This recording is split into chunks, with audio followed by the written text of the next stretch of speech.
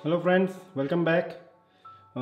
इस वीडियो में मैं आपको दिखाने जा रहा हूँ बेसिक इनिशियल सेटअप अपने मैकबुक प्रो का किस तरह से करता है।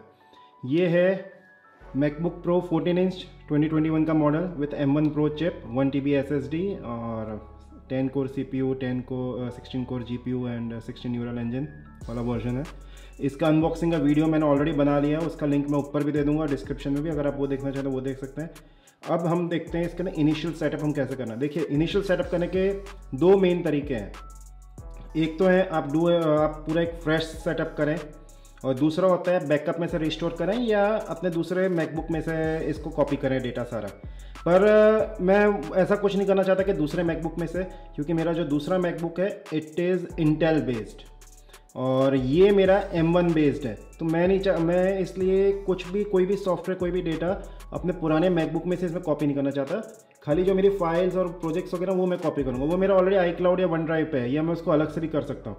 तो इस वीडियो के अंदर मैं आपको एक फ्रेश सेटअप दिखा रहा हूँ कि हमको किस तरह से करना है। Just like a new brand new system मतलब कोई कहीं से हम कॉपी नहीं कर रहे हैं, कोई सॉफ्टवेयर वगैरह।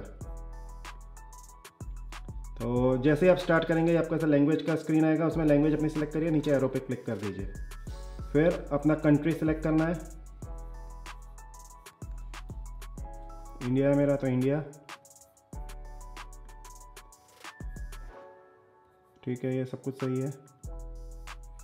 ये एक्सेसिबिलिटी तो एक्सेसिबिलिटी का कोई इशू नहीं है तो आई डोंट वांट एनीथिंग पर जिसको अगर किसी को है, जिनको कोई स्पेशल रिक्वायरमेंट है तो they can set it up right from year ये एक बहुत अच्छी चीज़ करी एप्पल ने स्टार्टिंग में ही दे देता है।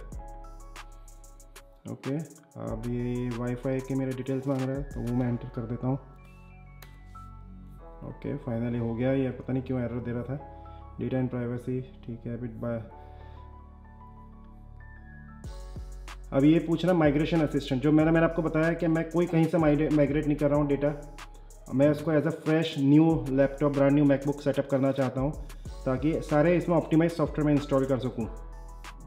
तो नॉट नाउ अभी मुझसे मेरा एप्पल आईडी मांग रहा है तो वो मैं एंटर कर देता हूँ। ओके अब मैंने अपना एप्पल आईडी डाल दिया है। तो इट विल पॉप अभी टू फैक्टर ऑथेंटिकेशन के लिए सर मेरे मोबाइल पे वगैरह पे सब पे कोड भेजा है तो मैं इसको उधर से अप्रूव करता हूँ।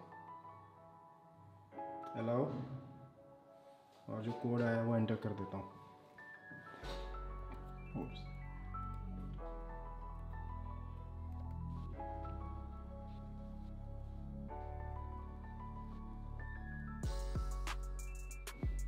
तो अब फाइनली मेरा आई क्लाउड अकाउंट इसमें लॉगिन हो गया है। मैंने टू फैक्टर ऑथेंटिकेशन एनेबल करा हुआ है अपने आई क्लाउड अकाउंट में। तो इसलिए उसका मेरे से वो उसका जो सेकेंड मतलब टू फैक्टर ऑथेंटिकेशन कोड है, वो मेरे को मेरे आईफोन आईपैड सब जगह उसका पॉपअप आता है। मैं कहीं से भी उसको अप्रूव कर सकता हूँ और उसका कोड इधर टाइप कर दिया मैंने और अभी फाइनली लॉगिन हो रहा है। तो अब इधर terms and condition iCloud की एग्री कराने को कह रहा है तो आई एग्री ओके अब मेरे से ये बोल रहा है कि इधर अपना पासवर्ड टाइप करो। जो मैं को इधर लोकल में यूज़ करूँगा लॉगिन के लिए। और ये allow my Apple I D to reset password ये इसलिए कि अगर बाई चांस हम अपने कंप्यूटर का मैक का पासवर्ड भूल जाए तो भी हम इससे रीसेट कर सकते हैं, अगर एप्पल आईडी से। मतलब एप्पल आईडी को यूज़ करके हम अपना यूज़ कर सकते हैं। ये हरदम मैं एटलीस्ट रिकमेंड करता हूँ वी शुड एनेबल इट ताकि अगर कभी बाई चांस आप भूल जाए तो आपका डेटा आप नहीं जाए, आप उसको अभी भी एप्पल आईडी के थ्रू फॉरवर्ड पासवर्ड वगैरह के थ्रू आप उसको रिस्टोर कर सकते हैं। अभी अकाउंट क्रिएट कर रहा है।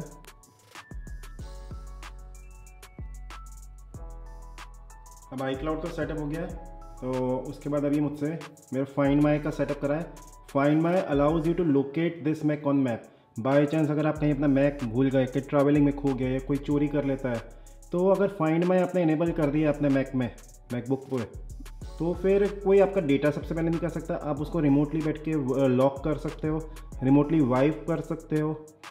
और बेसिकली वो मैकबुक उसके लिए यूज़लेस होगा अनलेस एंड अनटिल आप इसको खुद वो करें। अपने आई क्लाउड अकाउंट से उसको निकाल दें। नहीं तो ये हरदम एनेबल करें फाइंड में।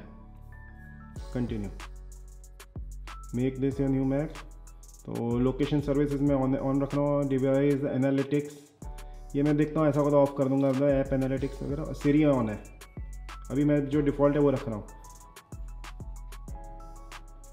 अभी मेरे को टच आईडी सेटअप करने को कह रहा है। टच आईडी ये है कि मेरे को बार बार लॉगिन कभी कभी भी लॉगिन करना, कुछ भी करना हो तो मैं खाली ये जो बटन है टच आईडी का, फिंगरप्रिंट, उससे मैं कर सकता हूँ। तो इसमें खाली फिंगरप्रिंट टच करने को बोल रहा है।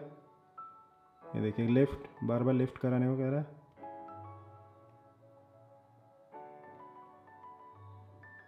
लॉगिन वगैरह मैं इजीली कर सकता हूँ just with my finger okay now अब एजेस करनी है मेरे को मेरी।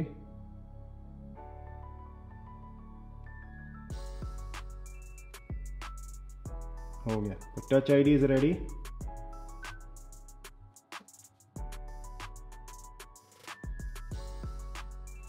okay मेरा ऑलरेडी जो कोर आई नाइन वाला मैकबुक है वो ऑलरेडी उसका सेम होस्ट नेम है तो इसलिए इसमें इसका होस्ट नेम चेंज करेंगे। दोनों सेम लाइन पे है। ओके नो प्रॉब्लम फिर सो so, अब मेरा बेसिक सेटअप कंप्लीट हो गया मैकबुक का। अब इसके अंदर मेरे को कोई भी सॉफ्टवेयर डाउनलोड करना, कुछ भी इंस्टॉल करना, वो मैं इधर से कर सकता हूँ। मेरा आई क्लाउड अकाउंट लिंकअप हो गया है। तो देखिए, और इस, अब ये पूछ रहा है calendar would like to use your current location okay मैं अलाउ करना चाहता हूँ। तो कैलेंडर सर्विसेज़ यूज़ करेगी। फिर अब इसके अंदर मेरे को, अब मैं अपने हिसाब से इसको पूरा कस्टमाइज़ कर सकता हूँ, जो भी मेरे को चेंजेस करना है। अब ऐप स्टोर के अंदर से मैंने जो भी सॉफ्टवेयर डाउनलोड पहले खरीदे हुए हैं, उन सबको मैं इधर से डाउनलोड कर सकता हूँ वापस से। तो जैसे मैंने फाइनल कट प्रो है, सबसे पहले तो वही करता हूँ। क्योंकि एडिटिंग मेरे को अब इसी के ऊपर करनी है। ये वीडियो भी मैं इसी के ऊपर एडिट करूँगा।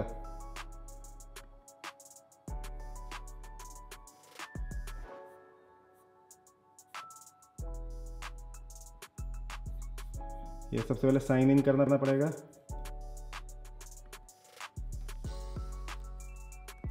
तो अपना जो आई क्लाउड अकाउंट है, उससे ही इसके अंदर ऐप स्टोर में लॉगिन करना है।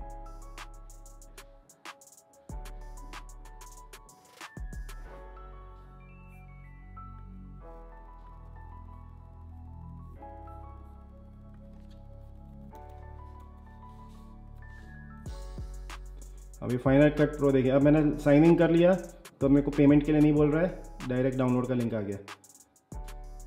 तो मैं अब इसको, इसके ऊपर इंस्टॉल कर रहा हूँ, और अब मैं ये जो इधर इंस्टॉल कर रहा हूँ it will download and install M one optimise मतलब जो ए आर एम आर्किटेक्चर के लिए एप्पल ने ऑप्टीमाइज करा है सारे सॉफ्टवेयर को, वो ऑप्टीमाइज वर्जन डाउनलोड होगा।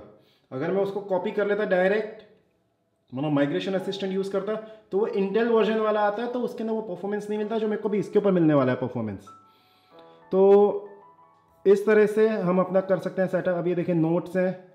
नोट्स के सेटअप पे आ जाते हैं।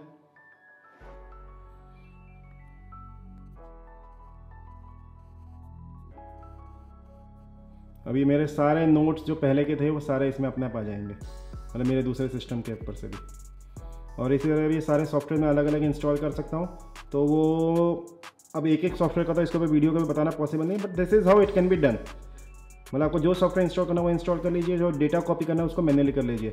अब मेरा तो डेटा ऑलरेडी ज़्यादातर सारा आई क्लाउड या वन ड्राइव के ऊपर है तो मैं बस वन ड्राइव और आई क्लाउड इंस्टॉल के ऊपर से करूँगा तो मेरा सारा डेटा आ जाएगा। अगर आपको वीडियो अच्छा लगा तो प्लीज़ लाइक करिए, कोई क्वेरी हो तो कमेंट्स में बताइए चैनल को सब्सक्राइब करिए अगर अभी तक नहीं करा है तो। I hope you like the video thank you have a great day bye bye